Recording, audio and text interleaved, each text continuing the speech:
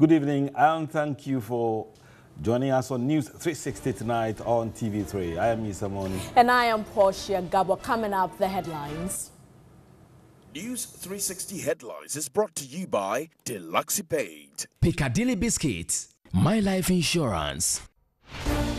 And coming up, family of one of the missing Takoradi girls says results of police DNA test would not change anything as they insist their daughter is still alive. Meanwhile, Eastern Regional Police Command makes strong case for a DNA testing facility in the region to quicken investigation and prosecution of cases. Also, health patients seeking health care at Salaga Government Hospital at risk as they resort to open defecation in the hospital.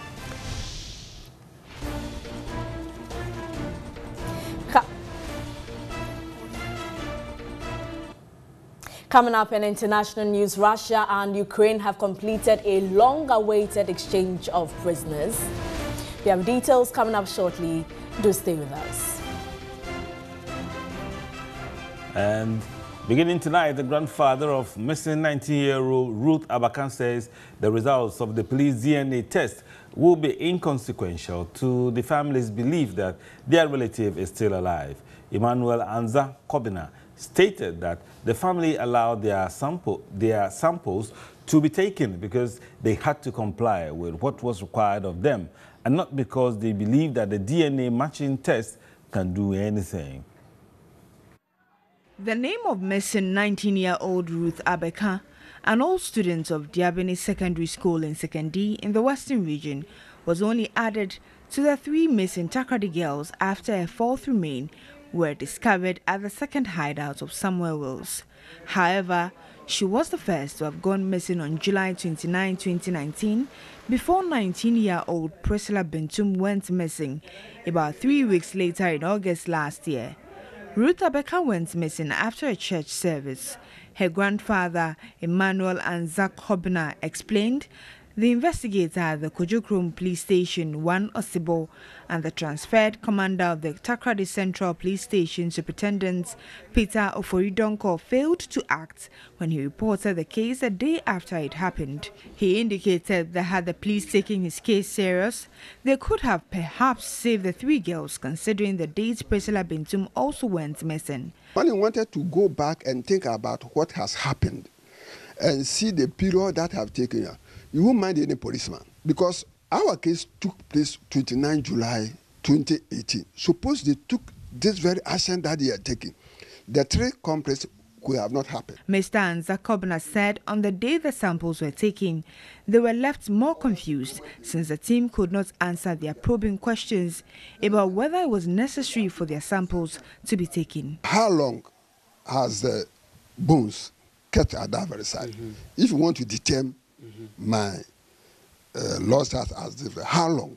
How do you uh, separate other female or male uh, differences pathologists? Nevertheless, he said their hope is not in the results as it will be immaterial since they are of the firm belief that Ruth Abeka is alive. Don't expect the DNA result to conclude our emotion. We are doing our own thing. We are playing. Whether DNA result or no DNA result, we are praying to our God. If not, we are asking God to give us a final result. But we don't feel that our daughter is dead. And we are still making search. According to him, the police perhaps want to end the case abruptly. That is why they are doing what they are doing. If I'm witnessing the process that they are doing, and I have got to know that the schools and the materials that they took from the hideout is the same thing that they are doing or they are taking another. Let's take for us tomorrow they brought the result that the DNA shows that my daughter is dead. What does he do? He just want to conclude the uh, case. Be that as it may, he said, even if it means waiting for five years and more for Ruth Abeka to return, the family is prepared to do so. For you, if even you have to wait for five, ten years, you wait. You wait. In God's wisdom, the result, the final result will come.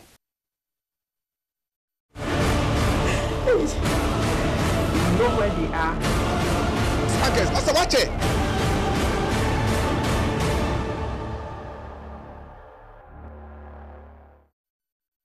And still on DNA testing, the Public Relations Officer of the Eastern Regional Police Command, DSP Ebenezer Tetteh, is making a strong case for crime laboratories to be decentralized to quicken investigation and prosecution of cases. Currently, the Eastern Regional Health Facility does not provide genetic testing for paternity or criminal cases. Yvonne Nikwe has more. Regional Hospital is a referral point for most health cases in the region, but they do not have what is required to engage in genetic testing. The medical director of the facility, Dr. Enim Boama, explained what a standard laboratory does is DNA testing for HIV viral load and other health conditions. He wished for an equipment that could enable them test for DNA regarding genetics so they could offer such services to the public. I'll be happy for government to provide us with these facilities, but um, with respect to the police investigations and others, I'm not too sure about that because I mean those have legal implications here and there. For us, we will be happy to have you know the facility to be able to help ordinary people who come in to request for those services. The Public Affairs Officer of the Eastern Regional Police, DSP Ebenezer Tetteh, said Ideally, all homicide cases, sexual abuse, murder, and others require genetic DNA tests are done to ensure suspects picked up are right targets before they are charged and processed before court. He noted this would help quicken investigation procedures and other determinants of a case and called for decentralization of laboratory for crime purposes. The sophisticated nature of crime is even what demands that we make some of those facilities available and accessible to officers so that you will not delay the process of investigation and uh, prosecution of some of those cases. Cases of crime which need laboratory testing are done in Accra. If there is a facility in every region, that's, for instance, if you have to conduct DNA tests, you don't have to go to Accra. That would be the ideal situation. As the country awaits the DNA results of bones suspected to be that of the three missing Takoradi girls, which was done in Accra, pressure is mounting on government to invest in DNA testing facilities in other regions as well. Now, simply receiving DNA test results can change one's life. DNA has not only changed how stories on crime are solved, but has become a tool to tell who your family really is. But how accurate are DNA results? Here's Wendelai's report. One of the most popular DNA stories in Ghana is that of former Black Stars player Nii Odartey Lamptey. The former football protege, tipped to take over from Brazilian Pele, had the worst of what life has to offer. All these misfortunes were perhaps crowned by his 2013 infamous divorce. Odartey Lamptey had been married for 21 years and raised three girls who turned up not to be his. Hello. Good afternoon. Good afternoon. We visited his home on Monday, September 3, six years after his painful divorce. Odartey Lamptey has moved on, started a family of his own, and has two daughters. Though, as a footballer, he had heard of DNA tests, he had no idea it could tell if your children were really yours. I thought I was the father, but uh, upon rumors that they are not my kids, they said I have to do DNA. My lawyer showed me where uh, they do the DNA. I got to know that, yes, the kids are not mine. Odartey Lamptey explained he visited a medical facility, told them about his ordeal without informing his ex-wife. I know it was a difficult situation. I was very close with the children. And for me to be able to do this, uh, I told them, yes, uh, that I have an infection in my throat. And, and upon doctor's advice, I should be able to cure this now. Otherwise, when they grow, they will have problem. At that time, they were all in school, and then uh, uh, the doctor was sitting in the car. They will use a cotton and then put it in, I mean, I think the last tooth that you have, and then they will just take the saliva, and then they will just put, put it in the bottle, and then they will close it. And I think that's how we went through, uh, we did the three of them. The DNA was supposed to have been ready in two weeks, but it took a month to ensure the results were near perfect. After doing this, he took it to South Africa for them to confirm. Mine was a bit expensive at that time because uh, I did not go there with the children.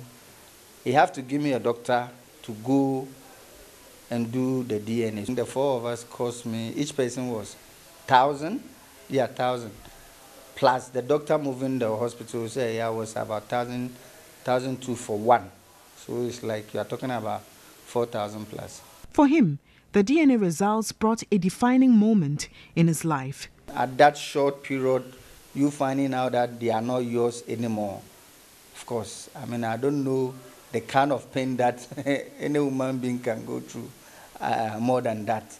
Personally, I'm happy. Uh, I said I'm happy because DNA made me know that these are not my kids. I trusted the DNA because uh, my ex-wife, of course, uh, did not uh, challenge the DNA in court. Popular and influential individuals across the world have had to resort to DNA to determine issues of paternity. Star actor Eddie Murphy refused to believe he was the father of former Spice Girl Melanie Brown's child in 2006, but a DNA paternity test proved otherwise. An online portal which deals in tracing lineages using DNA helped a 66 year old woman from Denver, Colorado, find her 75 year old sister after 55 years of search for her family. Deputy Chief Biomedical Scientist at the Korle Bu Teaching Hospital, Seth Agyeman, said there's always a margin of error in every laboratory diagnosis. When you are not the father, our probability is going to be zero there we are able to say they are not the father. So paternity testing is a probability that you are the father or you are not the father. And the probability is always not 100%. So for instance, if you are using black Africans, our probability is 99.97%. He further stated it takes a court to make a final judgment on such cases. So in determination of a biological fatherhood or relationship, the final conclusion comes from a judge. The lab cannot conclude it is a judge who looks at the um, um, prevailing evidence to say that you are the father.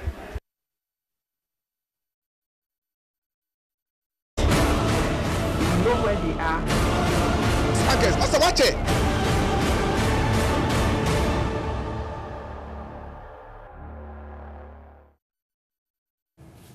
You're watching News 360. Let's now continue with the rest of our stories. And the health of patients seeking healthcare at the Salaga Government Hospital is at risk as patients and visitors resort to open defecation in the hospital. The only toilet facility constructed in 2002 under a HIPC project has deteriorated, forcing them to ease in the open, a situation described by health providers as dangerous, a report by Christopher Amwako. Salaga Government Hospital is a primary health facility which started its operations around the 1960s as a small health center. It was elevated to the status of a district hospital in the 1970s, providing pediatrics, maternity, dental, laboratory services, among others. The hospital records outpatient cases of 100 daily, with malaria topping the cases reported. One big challenge of the hospital is lack of a toilet facility. The only toilet facility available is a HIPC toilet constructed by the Assembly in 2002. However, authorities say it is not in use due to its bad state. This has prompted patients and relatives to resort to open defecation.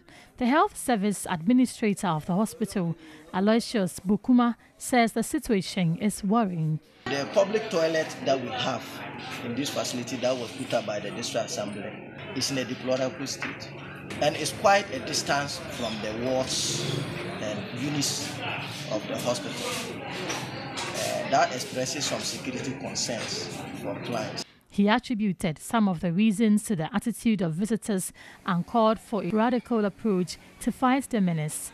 We also need to, to change uh, attitudes and behaviors of our clients and then also to improve the uh, water situation in the hospital. A cleaner of the hospital, Bakari Akaya, explains what he goes through every morning cleaning the place. When you just come and start mowing the place, you see that people are shitting inside the grasses and they are urinating inside. Too. As at the time of filing this report, a youth group in Salaga, known as Concerned Youth of Salaga, were molding blocks to start a toilet facility. Goal 6 of the United Nations Sustainable Development Goals aim at ensuring availability and sustainable management of water and sanitation for all, but government will need to make conscious efforts at achieving this target.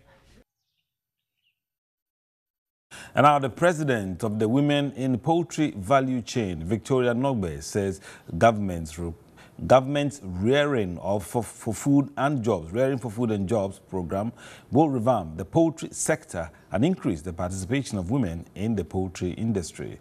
She made this known at a training program to enhance the capacity of women in the poultry value chain. For nearly a decade, the Ghana poultry sector has contracted as a result of intense competition from imported poultry meat and the decreasing profitability of egg production. According to the Food and Agriculture Organization of the United Nations, FAO, domestically produced broiler meat has fallen from nearly 60% of all poultry consumed in Ghana in 2000 to 20% in 2011. At the same time, imports have increased from 13 1,900 metric tons to over 155,000 metric tons. The government has also embarked on uh, rearing for food and jobs. Uh, more youth are being brought in at our own level, even through the Ghana Poultry Project. There's a mentorship program where the youth are being mentored and the Ghana Poultry Project even supported some of this youth. We believe that with enabling environment, I think we should be able to produce our poultry as it used to be in the 80s. In order to expand local production and processing of poultry meat and eggs, the Ghana Poultry Program, a five-year project funded by United States Department of Agriculture, was established. The project has also sponsored women in the poultry value chain to build their capacity to improve upon their business. Funds have also been given to the women to raise birds, improve profitability of egg production, and competitiveness in the Ghanaian poultry sector. Because they gave us a lot of ways how to clean the eggs, how to manage our farms, a lot of things and so forth. So now, as an individual, it has benefited me to move forward in my business. I was also given some of the get the uh, potential to have some of the best in my farm. And now they are starting laying. And then, as I can see, my farm also have grown and then other women also as well as benefited from it. So we have to see to it that Ghana's poultry industry grows. The moment we grow, the moment we get more people, the women and the youth, the young people, getting them on board, creating an enabling environment for them Women in the poultry value chain say the Ghana Poultry Project has boosted the participation of women in the poultry sector. Let's go to the central region where fisherfolk at Mumford in the Gomoa West District want President Akufo-Addo to honor his promise of constructing a landing site in the community. Economic activities, according to the fisherfolk, will be boosted with the construction of a landing site. The fisheries sector plays a major role in the Ghanaian national economy, contributing 3% of gross domestic product. In order to transform the fisheries sector, government in 2018 earmarked $235 million for the construction of 10 coastal fishing and landing sites. The 10 identified sites where the landing sites and related facilities will be constructed include Teshie in the Greater Accra region, Axim and Dixcove in the western region, and Keta in the Volta region. The rest are Elmina, Winneba, Mumford, Senya Beraku, Fetagomwa, and Moree, all in the central region. President Akufo-Addo had already cut the sod for the construction of landing sites in Moree and Axim. Fisherfolk at Mumford in the Gomoa West District say they have waited too long for the construction of a landing site. They want President Akufo-Addo to fulfill his promise of constructing a landing site in Mumford.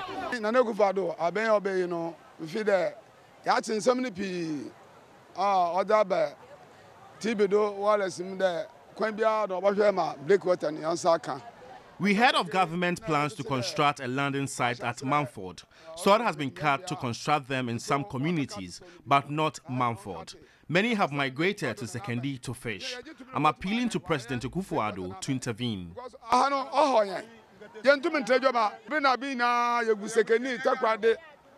yɛntumi ntɛ dwama bi na bi na yɛgu sekeni takrade sekeni takrade hɔ na yɛbɔ yɛbrɛ hɔ yɛma no ntumi nkɔ skul papa wɔ nti yɛbɛsrɛ blake wɔtɔ ɔbɛyɛ aman a sabio mɔtum ma ayɛ adwuma hyɛ meyɛ no memba no mentumi nyɛ sɛ adwumadziaa na meyɛ mɔkɔmɛhale na mekɔ nsuo so. The absence of a landing site is greatly affecting fisherfolk here.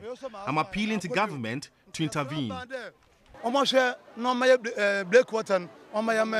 Ɔmɔhwɛ na ɔmayɛ blake water no ɔmayɛ mɛ na yɛkuo yi ɔnto mpɔn ɔfa the blake water no wamayɛ a yɛnyɛ sika nkɔ sɛ kuna ne yɛde hɔ ayɛ te kuro yi mu We can't do anything here in this community without a land on site. If it is not provided for us, we won't vote.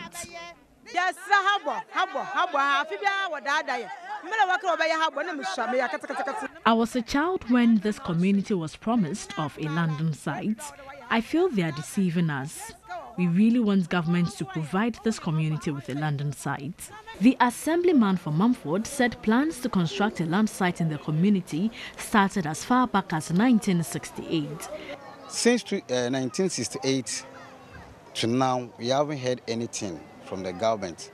But very fortunately, 2008, ex-president Kufuor came here to cut a sword that after winning, they will come and then continue the fishing harbor for us. But unfortunately, NPP couldn't win the election. And then the NDC came. We are expecting that they will continue for us, but they too didn't do it for us. It has captured in the budget that they will come and then do it. We have heard that, uh, what do you call it, uh, Axim Murray, President Akufo-Addo has cut the sword that he's going to start the fishing harbor and then uh, sea defense for them. So we are expecting him to come here to do ours for us. Bismarck Nkum is the district chief executive of Gomoa West. The current government, President Akufo-Addo, has made it a point to ensure that that landing site is constructed. Sword cutting has taken place at Axim and then Moree to cover the 10 landing beaches where we are fortunate to have been captured. So we are expecting that September, October, uh, contractor should be on site to be able to get this done for us. When this is done, our fishermen who have migrated to the western side, Greater Accra and even Ivory Coast, all of them will come and this will become a hub again. Fisherfolk are hopeful that the fishermen who have migrated from Mumford to other fishing communities in La Côte d'Ivoire and within Ghana will return to Mumford to boost economic activities in the area. Now, a woman's favorite accessory is her hair as it represents her personality, identity, and beliefs. Throughout history, hairstyles have been largely determined by fashion trends. Presently in Ghana, it appears short, sexy haircuts appear to be in vogue. But how has hair trends evolved in the country over the decades? Hair played a significant role in ancient African civilization, symbolizing one's family background, social and marital status, spirituality, and tribe. During the pre colonial and post independence era, plaiting hair with thread was quite popular, while Afro hair was dominant in the 60s. The perm and jerry curl joined the hair evolution in the 1980s. Although braids date back to at least 5,000 years, it is still a popular trend among women of all ages today. While weaves have been in existence over five decades, the rise in women opting for hair weaves made of human hair created a boom in the industry by the end of the 90s. Wig caps, a popular hair accessory, could be traced back to the 15th century. However, it was not until the 2000s that it became a popular trend among young women. They have since evolved to become more glamorous and expensive with a wide range of textures and styles to choose from. natural hair, which is focused on encouraging women to enjoy the natural hair movement instead of extensions and weaves also became popular in the late 2000s with a variety of styles. Historically, women donning short, sexy haircuts and styles is not new.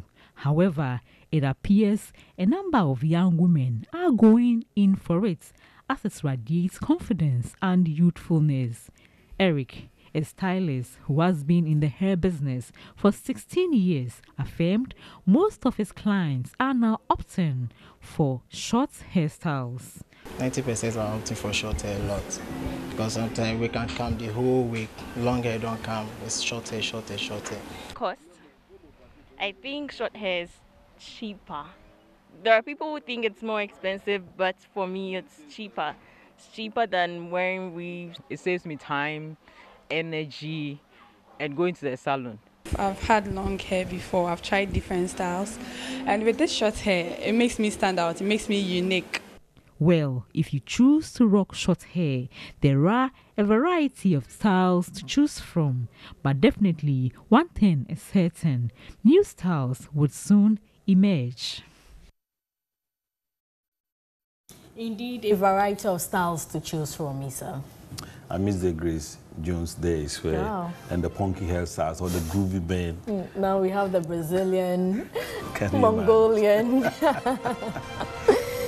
we'll return shortly with Mission. Stay with us.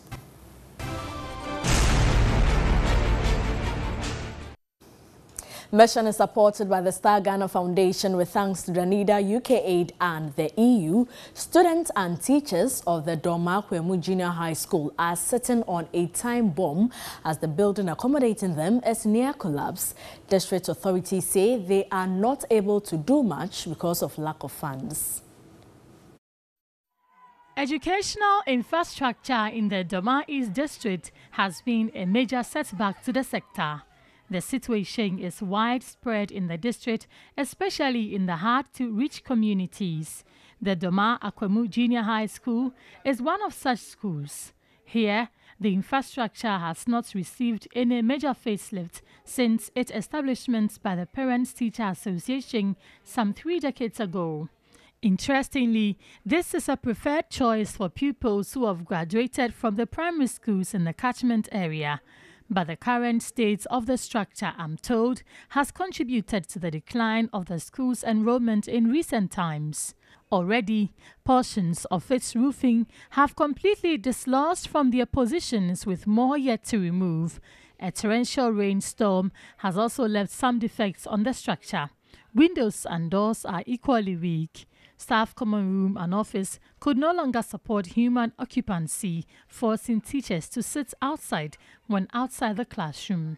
Teachers are overwhelmed. During the day, that place is very hot. So, in fact, teaching and learning is not uh, all that encouraging. Doesn't go on well. Furniture were provided by parents, but they resolved not to do that again because of government free education policy. The Dormaa Akwemu Junior High School is not the only school with infrastructural challenge. The Methodist Junior High School in the community also has similar challenge. While primary pupils are confined to decent classrooms, a wooden board cladded structure is what serves JHS 1 to 3 pupils. The classrooms get wet anytime it rains. The school authorities have petitioned the district authorities on three occasions, but they are yet to receive feedback. District Chief Executive for Dormaa East, Emmanuel Ajuman, attributed the disparity in the provision of educational infrastructure to inadequate funding. Infrastructure is a challenge. When you go to most of our communities, you realize that um, the structures under which children study is quite deplorable. It's something that we need to do so much work on. So uh, there is no way, it's not possible that the assembly can capture all those schools. But what we are paying so much attention to is a self help so that when the communities do something, if we have somebody somewhere who would want to support in any way, then the assembly will also give the um, support that uh, it can afford. Dormaa East will require support from government, philanthropists, and benevolent organizations to improve its infrastructural deficit. Let's remain in the Bono region, but in the Dormaa Central Municipality, where construction of an additional facility to ease pressure on the Aboabo Health Center has stalled, and Stanley Nibleu has been finding out why. Access to quality health care is one of the 17 Sustainable Development Goals of the United Nations, which is achievable by 2030. However, this is not the situation in communities in the Dormaa Central Municipality. At Aboabo, a suburb of Dormaa Ahenkro, the community is fortunate to have been provided with a health center which serves more than 15 adjoining communities. Health personnel supervised by the Christian Health Association of Ghana have been posted to the facility and they are rendering services to patrons in the midst of scarce resources and space.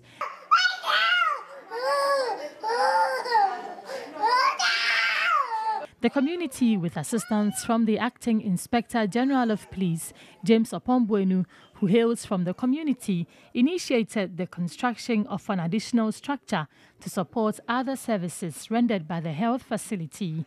But the project has stalled close to a year after some plastering, roofing, and fixing of door and window frame works were done. Part of the building is designated as medical laboratory, but goats excreta are everywhere in the building.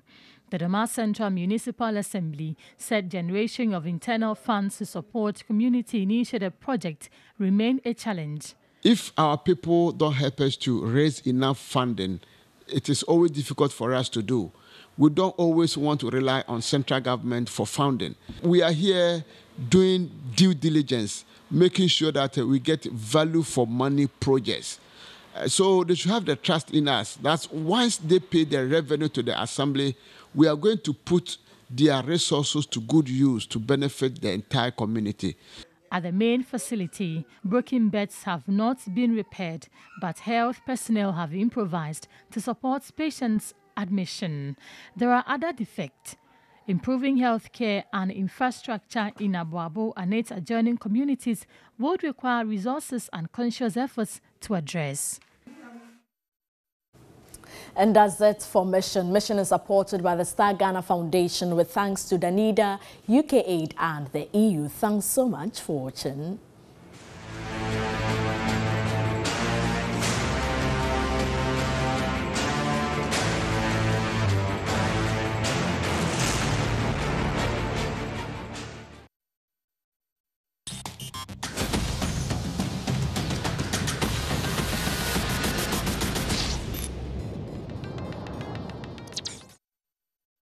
Now, in our story of the week segment today, exactly a week ago, the police issued a statement that it will, in four weeks, complete the medical test on DNA samples of the retrieved skeletons suspected to be the bones of the kidnapped Takoradi girls. On our story of the week, Grace Hamwa Asare looks at developments so far and why the police is yet to release the results as the timeline given elapses. In August, the police issued a statement that it will, in four weeks, complete the test on DNA samples of the retrieved skeletal remains suspected to be those of the kidnapped Takoradi girls on August 5. The police, in the same statement, also pointed out that it will investigate all angles as they continue with the search of the kidnapped girls. After some objections from families of the girls, they provided DNA samples for the test but requested for independent investigations to be carried out. We are prepared to do an independent DNA test in South Africa. Already, there are threats from residents of Takoradi to embark on series of demonstrations if the DNA results happen to match that of the retrieved skeletons. The missing of the three Takoradi girls is one of the mysteries that will go down the annals of this country. The period that the police asked for further release of the results of the DNA test has elapsed and pressure is mounting across the length and breadth of the country. Ghana, until recently, took samples for DNA testing to Europe and South Africa. Many of the cases that have really called for DNA testing in Ghana have been those about paternity. One of the persons who made DNA paternity testing popular in Ghana is ex-footballer Nii Odartey Lamptey. I thought I was the father, but uh, upon rumors that they are not my kids, they said I have to do DNA. My lawyer showed me where Uh, they do the DNA. I got to know that yes, the kids are normal. Chief biomedical scientist at the Korle Bu Teaching Hospital, Augustine Sego, is one of the brains behind DNA testing in Ghana. He tells us DNA testing goes beyond just paternity testing. I did a feasibility study. I went to 28 courts. So I went far to search for information as to where and when do they request for this crucial test. Upon this study, I came out with the fact that there were a lot, columns of cases that are pending in the court for the DNA. So, we asked him if DNA tests can be done on the skulls found in the septic tank purported to be those of the Takoradi missing girls. Yes, DNA can be done even when the, the case is more than seven years because in a scalp with the tooth on the mandible, okay, there's a nerve connecting the two to the scalp. Okay, and these are cells. I think they are the last thing that they destroy. The issue also brings to fore the challenge of the absence of a functional DNA facilities in all major health facilities in other parts of the country apart from the capital Accra. And even in Accra, the biggest hospital, Korle Bu Teaching Hospital, is currently unable to offer the service as the only DNA laboratory that serves the whole of West Africa is not functioning. The machine broke down in 2014, four years after it was inaugurated in Ghana. You will need a constant power. And by then, our power was not stable. So we lost so many reagents, which is capital. You can imagine you put 500 or um, 50 samples on the rack. It will run up to two hours. In the last 30 minutes, the power goes off. Since Ghana introduced DNA testing, there hasn't been any law enacted to streamline its use. DNA analyst Dr. Kenneth Frimpong believes the passage of a law is crucial to govern institutions that offer such services. With all the matters arising, the most suspected news is the results of the forensic examination the police was expected to release on September 5, which it failed. The question is, will the advent of technology help us bring finality to this issue? And will the advancement in science help us close this issue once and for all? And more importantly, what will be the content of the test results? The country is waiting to hear from the police services. Grace Hamwa Asare, TV3 News, Accra. And tonight in this segment, organizers of the Ghana Arts and Culture Awards in collaboration with the National Commission on Culture have officially launched and opened nominations for the maiden edition of the awards. And the award scheme seeks to honor individuals and brands that have made major contributions to the arts and culture industry in Ghana. In all, 18 award categories are up for grabs, counting Cultural Television Program of the Year, Art Festival of the Year, Traditional Music Group of the Year, Cultural Heritage Entrepreneur of the Year, among others. These awards seek to honor and appreciate the forerunners, brands, and key players who have contributed greatly to arts and culture industry here in Ghana and beyond. Despite being in its first year, the launch of the awards attracted a lot of interest. Sparking the launch, the Executive Director of National Commission on Culture, Mrs. Edna Janet Nyame, urged all to support in the promotion of the Ghanaian cultural heritage. I believe it is everyone's responsibility to ensure that the society, more importantly the youth, are reminded of these power and wealth embedded in our cultural heritage, which have directed our lives over the years till today. The scheme seeks to honor individuals and brands that have made major contributions to the arts and culture industry in Ghana. The final award ceremony is scheduled to take place on November 23 at the Accra International Conference Center. On behalf of the National Commission on Culture, I declare the Ghana Arts and Culture Awards 2019 and nominations duly launched. And that will do for this edition of News 360, which came to you live from the News Hub at Addison. I am Isa Moni. And I am Portia Gabor. Enjoy the rest of our programs. Good evening.